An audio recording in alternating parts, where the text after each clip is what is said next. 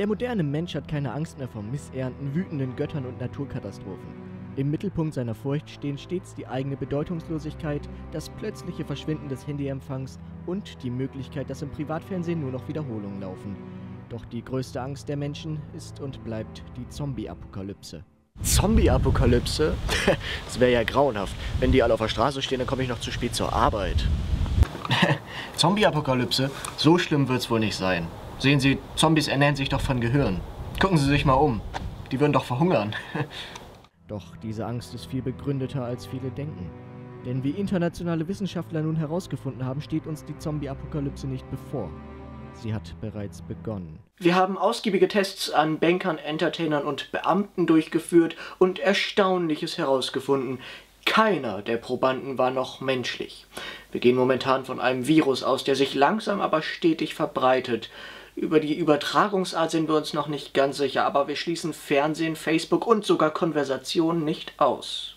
Mithilfe komplizierter Verfahren ließ sich der Ursprungsort der Epidemie zurückverfolgen. Eine ganz normale deutsche Schule.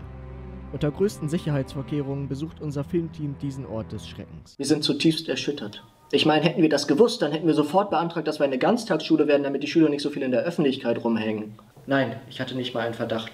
Der Unterricht erschien mir völlig normal zu sein. Die hinterste Reihe schläft, die davor guckt auf ihre Handys, die zweite Reihe zeichnet in ihren Heften und die erste Reihe guckt stumpfsinnig nach vorne, um Aufmerksamkeit zu heucheln. Das war schon immer so, da habe ich mich dran gewöhnt. Eine schulinterne Ermittlung hat ergeben, dass das Virus im Bierraum entstanden ist. Ein Schüler hat einen anderen Schüler angesteckt, um ihm einen Streich zu spielen. Die Behörden wollten ihn schon inhaftieren, aber wir haben das schulintern geregelt. Beim Mobbing kennen wir kein Pardon. Stefan sitzt schon seit einer Woche nach. Inzwischen haben sich Zombies über den ganzen Erdball ausgebreitet.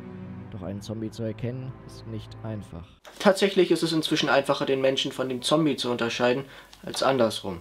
Ich habe hier einmal zwei Vergleichsbilder. Man sieht sofort den Unterschied. Auffällig ist, anders als der Zombie hat der Mensch keine großen Augenringe. Im Gegenteil, seine Augen scheinen voller Leben zu sein. Außerdem trägt er keine Ohrstöpsel.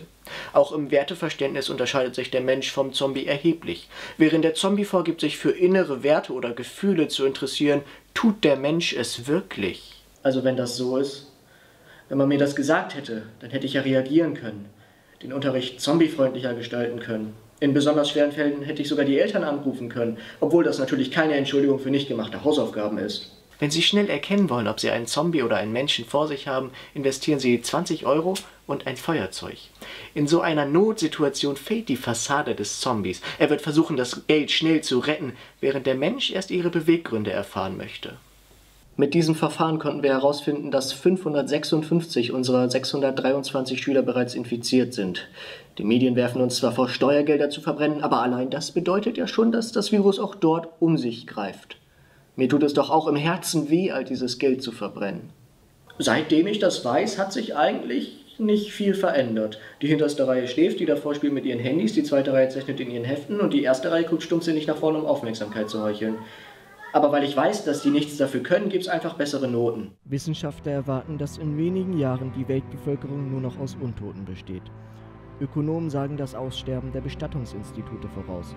Fernsehsender, Bildungseinrichtungen und Großkonzerne haben jedoch keine großen Änderungen ihrer Programme angekündigt.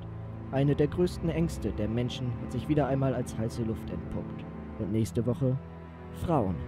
Sind die Aliens längst unter uns?